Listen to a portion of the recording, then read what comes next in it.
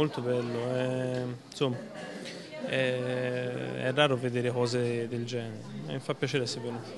Mi è piaciuto veramente tanto e le cose ha detto molto, cioè, molto toccanti. Io non l'avevo mai visto ma mi è piaciuto molto, l'ho trovato, ho trovato un bel discorso, attualissimo e quindi interessante, sarebbe anche da far ascoltare ai ragazzi. È un po' diversa dal solito, fortunatamente, perché in questo periodo ne abbiamo sentite tante di ricostruzioni, questa è un po' diversa.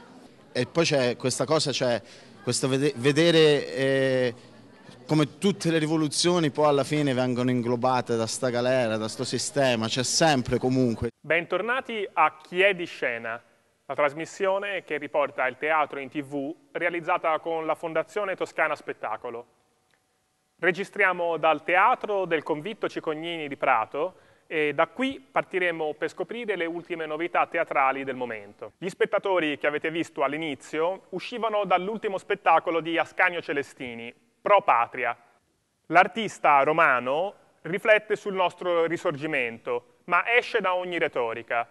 Celestini ci ricorda infatti che Mazzini ai suoi tempi era considerato un ribelle, un rivoluzionario, che alternava esili a periodi di prigionia.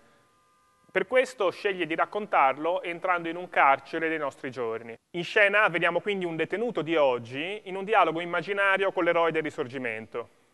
Allora, devo iniziare parlandone Mario Martone che qualche anno fa mi disse ma perché non fai una lettura, non prepari una lettura, un racconto anche breve sulla vicenda della Repubblica Romana del 1849? Cittadini, dal 9 febbraio al 3 luglio del 1849 a Roma si scrive la Costituzione repubblicana. Mentre la città si difende dai francesi, a Roma viene tolta la tassa sul pane, viene tolto il monopolio del sale dei principi d'Orlonia che ormai ci avevano da secoli, viene istituito il matrimonio civile, anche le donne hanno diritto di successione, viene istituito il testamento. E la cosa interessante è che era appunto una Costituzione repubblicana e che il risorgimento invece che ha vinto, eh, quello insomma de, del 1860-61, del 1870, è stato il risorgimento monarchico.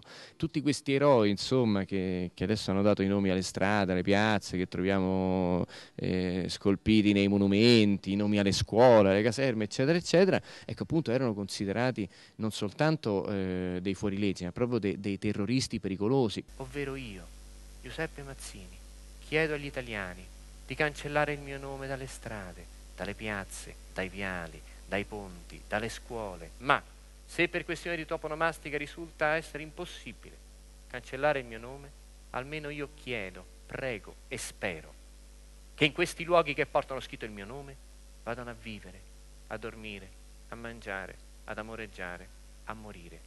Disgraziati, pezzenti, tossici, mignotte, immigrati, gente senza documenti e senza futuro, categoria di esiliati e sconfitti alla quale appartenni per tutta la vita. Punto, firmato Giuseppe Mazzini.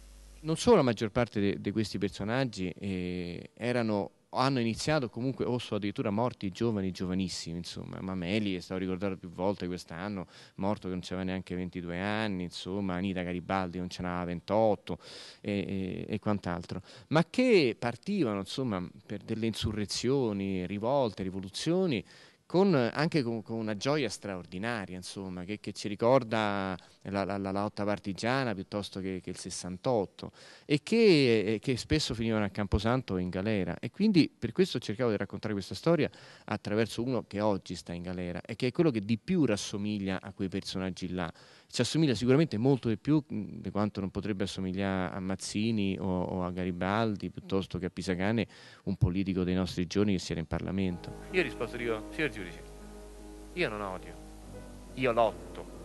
E sono due secoli che lottiamo.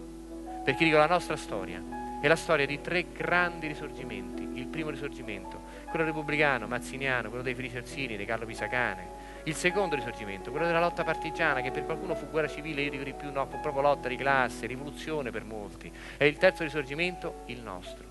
E questi tre risorgimenti hanno due elementi in comune. Il primo è che si tratta, in tutti e tre i casi, di rivoluzioni combattute dai figli e tradite dai padri. E il secondo elemento fondamentale è che tutti e tre questi risorgimenti, anche il primo, quello dei monumenti di bronzo, anche quello là, sono storie di galera e lotta armata, dico signor giudice, galera e lotta armata, dico galera e lotta armata. Si apre così una riflessione sul concetto di giustizia, perché se un tempo abbiamo messo in galera persone che oggi consideriamo eroi, Celestini si chiede se non stiamo commettendo lo stesso errore anche oggi, portando in galera molte persone che dovremmo lasciare liberi. E allora, lo spazio teatrale cui, nel quale faccio lo, lo, spettacolo, nel quale racconto Pro Patria, eh, è uno spazio di due metri per due che è più o meno lo spazio che ha un detenuto oggi in Italia, due metri per due, non di più. Ma non voglio parlare del carcere dicendo eh, ci sono dei carceri che, che, che, stanno in condizioni terribili, mentre altri insomma sono messi meglio. Il problema è il carcere, proprio il carcere, l'istituzione carceraria.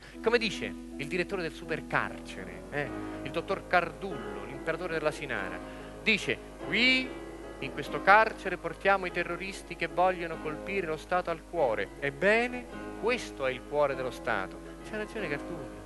La galera è il cuore dello Stato, è il luogo dove lo Stato si dichiara apertamente per quello che è, un secondino, uno sbirro una guardia, un manettaro. I carceri italiani sono i peggiori d'Europa dopo quelli della Serbia.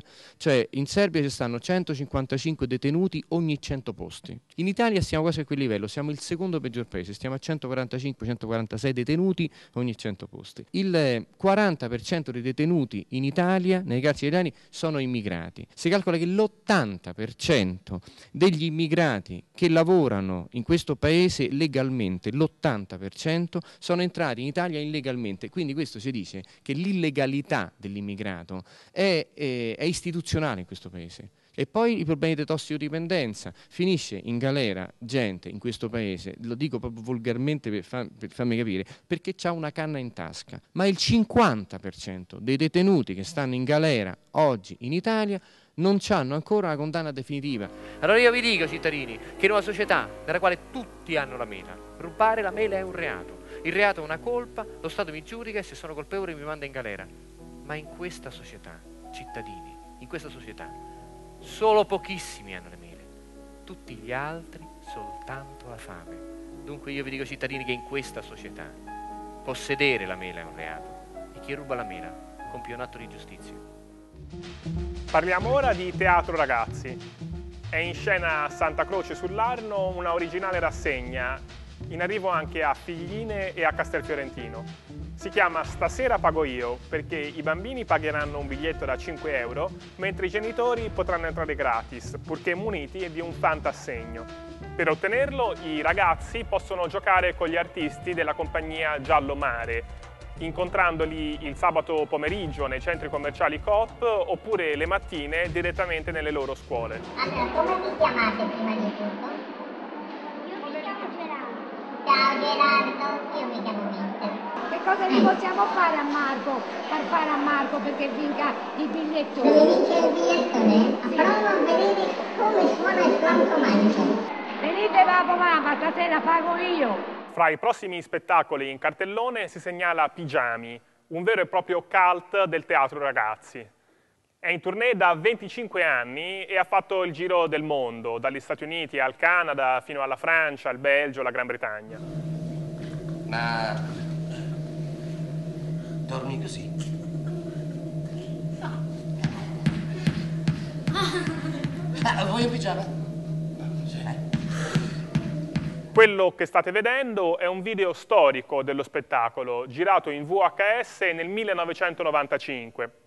Pigiami è la storia di due uomini che prima di andare a letto giocano con i loro vestiti.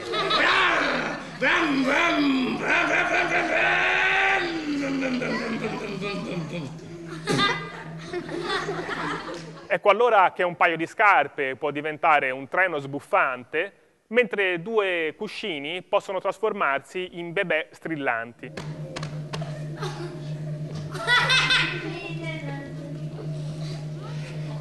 L'orrore della mamma! mamma! Che ti vuole tanto bene, ti dà tanti bei baciati! Con pochi oggetti di scena, i due attori giocano di fantasia e creano mille gag che riescono sempre a divertire i più piccoli. Buonanotte, buonanotte. Ciao Lino, buonanotte. Buonanotte,